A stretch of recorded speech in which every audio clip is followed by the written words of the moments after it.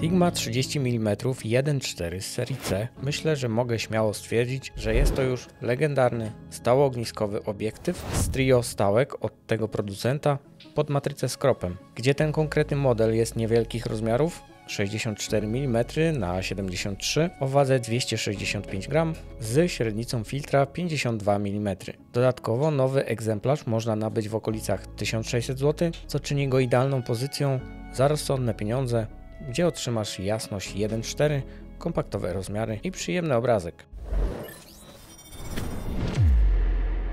Cześć, ja jestem Rafał i witam Cię na kanale, na którym w wielkim skrócie opowiadam o sprzęcie i mojej przygodzie z nim związanej. A w dzisiejszym materiale przedstawię moje przemyślenia na temat właśnie tego obiektywu, czyli Sigma 30 mm 1.4 z serii C. I na samym początku dodam, że ten obiektyw kupiłem z rynku wtórnego za własne pieniądze i właśnie z tego powodu nikt nie miał wpływu na ten materiał, a sam ten obiektyw traktowałem jako coś przejściowego, coś takiego na przeczekanie, ponieważ moim głównym celem był G-Master 24 1.4, a mówię był, ponieważ właśnie się nim nagrywam. Samą Sigmę już z powodzeniem udało mi się sprzedać za tą samą kwotę, którą kupiłem, więc tu jestem zwyczajnie na zero, co mnie bardzo cieszy.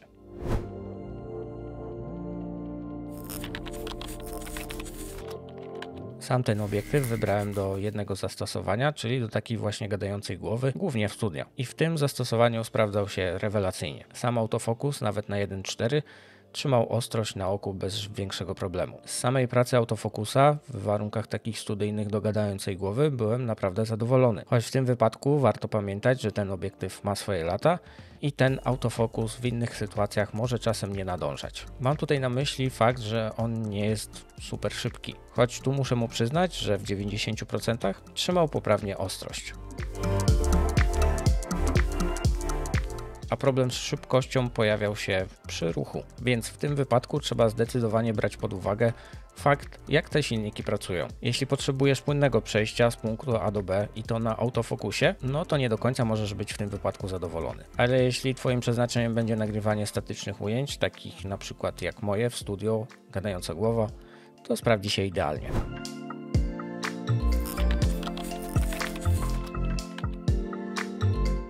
A idąc krok dalej, czyli przestawiając go w tryb pracy manual focus, i tu muszę przyznać, że ostrzenie ręczne w tym obiektywie nie przypadło mi do gustu totalnie. Ta Sigma nie ostrzy liniowo, co znaczy, że nawet jak sobie oznaczysz obiektyw z punktem A i B i będziesz chciał wykonać płynny ruch, to niestety nie będziesz w stanie wykonać tego samego ruchu dwa razy, co będzie zwyczajnie skutkować nietrafionym ostrzeniem. Drugim minusem, który mi się nie podobał przy ostrzeniu manualnym, to praca samego pierścienia ostrości. Na moje wyczucie opór, który stawia jest zbyt duży, a dokładając do tego focus by wire, ten obiektyw ciągle ostrzy tak jakby tą samą prędkością, nawet przekręcając go szybciej, nie skutkowało to przeskoczeniem tej ostrości z daną prędkością. Co jak dla mnie było to dosyć irytujące.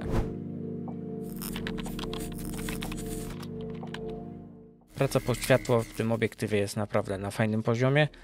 Tutaj nie mam jakichś większych zastrzeżeń, myślę, że radzi sobie całkiem dobrze.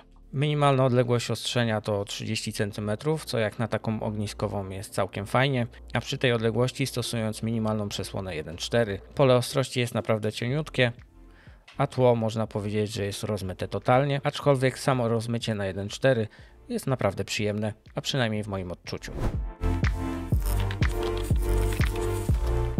To, z czym ta seria sobie nie radzi, czyli seria C, to zdecydowanie aberracja chromatyczna. Szczególnie na przesłonie 1.4 jest totalnie widoczna w obu wypadkach. Na górze i na dole zdecydowanie widać na przykładzie. Aby zminimalizować ten efekt, sposób jest prosty. Trzeba przymknąć tą przesłonę niżej, a idąc wyżej jest tylko lepiej.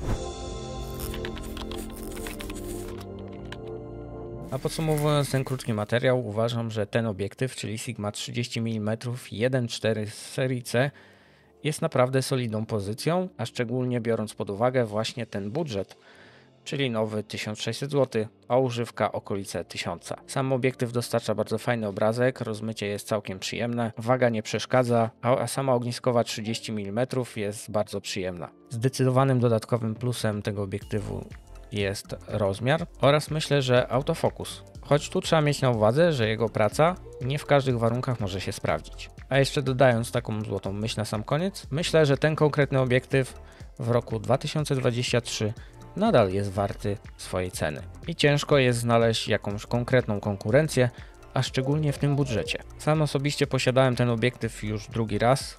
Moja pierwsza styczność właśnie z, z tą stałką była przy Lumixie i bardzo fajnie się sprawdzała. I moje wrażenia użytkowe overall są bardzo pozytywne. A w tym materiale tyle ode mnie. Cześć i do następnego.